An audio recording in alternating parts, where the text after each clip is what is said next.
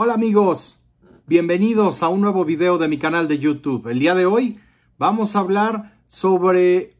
sin duda alguna, el genio, el más grande diseñador de la Fórmula 1 actual y qué es, cuáles son algunos de los secretos del RB18 que ha tomado pista en los pasados test de Barcelona y que ha provocado muestras de admiración no solamente de los fanáticos alrededor del mundo, del personal de la Fórmula 1, sino directamente de los que más saben de todo esto, que son los especialistas, los especialistas en aerodinámica y en eh, diseño de los automóviles. Creo que eh, los más grandes elogios que recibe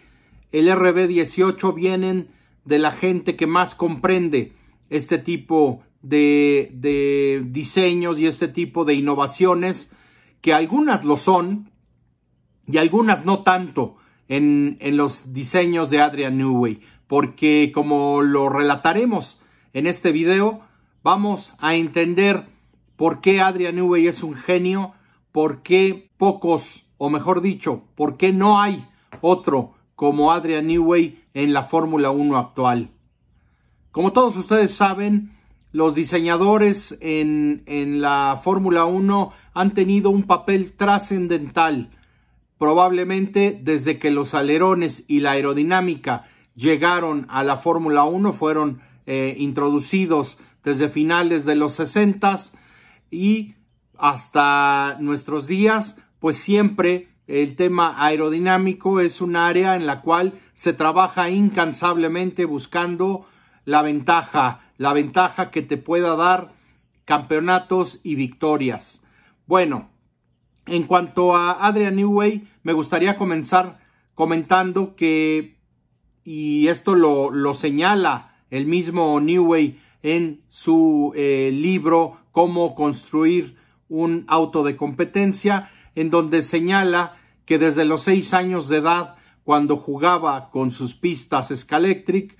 eh, comenzó a buscar modificaciones en los autos para hacerlos más rápidos. Sí, desde sus autopistas eléctricas. Posteriormente, a los 12 años de edad, después de estar experimentando y buscando siempre mejorar eh, sus juguetes, a los 12 años de edad tenía claro lo que quería hacer en la vida quería ser diseñador de autos de competencia. La tenía clara Adrian Newey desde los 12 años de edad. Y bueno, en el RB18 de este año, creo que queda clarísimo que Adrian Newey es el, es el diseñador más hábil. ¿Por qué? Porque lo que hace Adrian Newey es proponer conceptos que le son conocidos y habituales que ya ha manejado eh, en otras épocas y en otros monoplazas,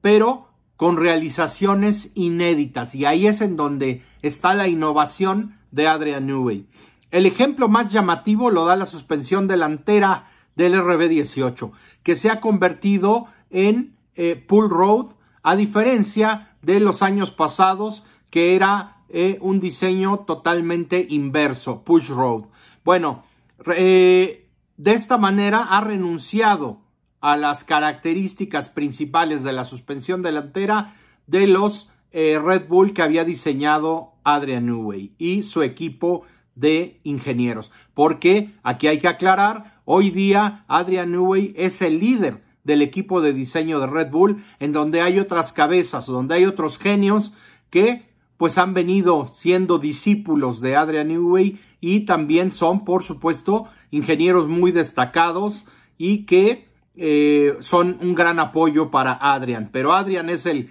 es el que, el que crea el concepto, el que crea el automóvil y su equipo pues le va ayudando a ir encontrando las mejores soluciones. Adrian Newey, cada que presenta un auto, siempre hay que analizarlo con calma porque de entrada se pueden interpretar algunas, algunas de sus soluciones, pero normalmente con el paso del tiempo y de las carreras se va comprendiendo de una mejor manera cada uno de, eh, de las innovaciones y de los conceptos y del por qué el diseño de New Way es como, como es, ¿no? El triángulo superior de la suspensión delantera se ha dividido en dos brazos multibrazos.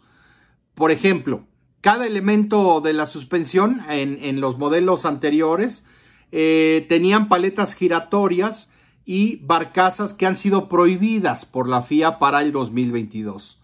En este, en este nuevo diseño, la sorpresa eh, en este RB18 es que Newway ha sabido reproducir estos conceptos que ha ido desarrollando a lo largo del tiempo, eh, porque como lo ha dicho el mismo ingeniero Scalabroni, con quien el lunes pasado hicimos el podcast en Motorlab, la filosofía de trabajo de Adrian Newey es que en la Fórmula 1 nunca se tira a la basura ningún concepto y ningún diseño anterior, porque cada solución puede encontrar, o sea, cada solución o cada diseño puede encontrar una nueva aplicación a medida que van cambiando las reglas. Por lo tanto, Adrian Newey, y para nadie es una sorpresa, invirtió la suspensión delantera del esquema de push road hasta el usado hasta el 2021 y tomó medidas para levantar el brazo único que conecta directamente las dos ruedas, pasando obviamente por dentro del el marco, ¿no? Giorgio Piola lo ha descrito de una manera tremenda eh, en los días recientes eh, para Motorsport y nos muestra cómo el brazo único que formaba parte del triángulo inferior de los RB16 y RB16B usado hasta el 2021 eh, se ha trasladado a la parte superior de la suspensión delantera. Esto es, digamos, de manera muy, muy similar eh, a un concepto que ha demostrado funcionar bien con las dos fijaciones en el cuerpo del automóvil.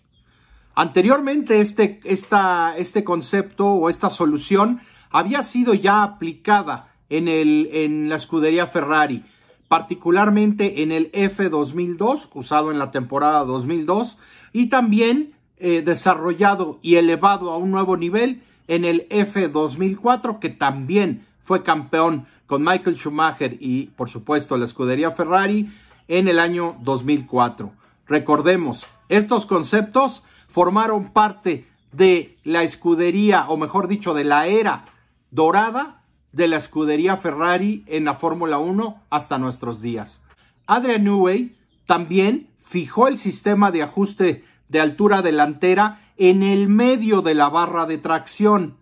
esto ya lo habíamos visto en la escudería Ferrari, particularmente en el año 2004. Em,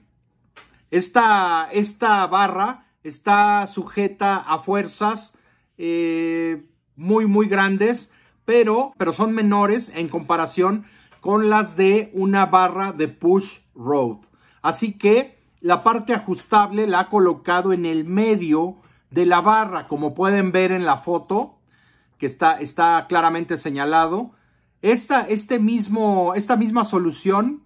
estaba en aquellas dos Ferraris exitosísimas. Eh, en esta posición, y ha sido ubicada en esta posición, porque ahí los mecánicos pueden acceder a ella de manera más sencilla y modificar, modificar eh, el reglaje. Esto antes estaba cerca de la unión de la palanca con el cuerpo del auto, lo cual dificultaba digamos, la eh, manipulación y la modificación de las alturas. Eh, el RB18, por supuesto, presenta estas y muchas otras innovaciones y muchas otras eh, interpretaciones distintas de un genio como lo es Adrian Newey. Pero esto, esto lo iremos descubriendo con el paso de las carreras con el paso eh, de, con, el, con la llegada del inicio de la temporada, en donde vamos a tener más fotografías, en donde vamos a tener más innovaciones y por supuesto más material para poder hablar de lo que, de los secretos del RB18. Por el momento, sorprende, sorprende mucho que eh, Adrian sigue eh, siendo el único diseñador que tiene claro por qué diseña cada tornillo del automóvil de cierta manera. La ventaja que tiene Adrian Newey con respecto a otros diseñadores actuales es que Adrian domina no solamente las técnicas actuales, sino se basa particularmente en el eh, origen del diseño, de la escuela de diseño, que es el papel y el lápiz. Adrian Newey interpreta un concepto de una manera única y se apoya, se apoya en su equipo de ingenieros que, por supuesto dominan todas las tecnologías actuales para eh, probar y mejorar lo que pueda ser mejorado eh, con la ayuda de la tecnología actual. Entonces, Adrian Newey hoy día aparentemente ha construido un gran auto en el RB18. Han reportado que en Barcelona tuvieron mucho subviraje, pero también Max Verstappen mencionó que no es preocupante porque aún falta poner varias piezas en el auto y por supuesto ir encontrando la velocidad del mismo. Así que amigos, faltan menos días para que lleguen los segundos test de pretemporada en este, en este 2022 y el día de hoy eh, Christian Horner nos deja con una gran incógnita y menciona que probablemente en esta temporada tengamos un año épico, histórico, con cuatro equipos peleando las victorias y peleando por ambos campeonatos del mundo. Así que a frotarnos las manos amigos, si no se han suscrito al canal, por favor suscríbanse, déjenme sus comentarios y sus likes y nos vemos en el próximo video. Hasta pronto.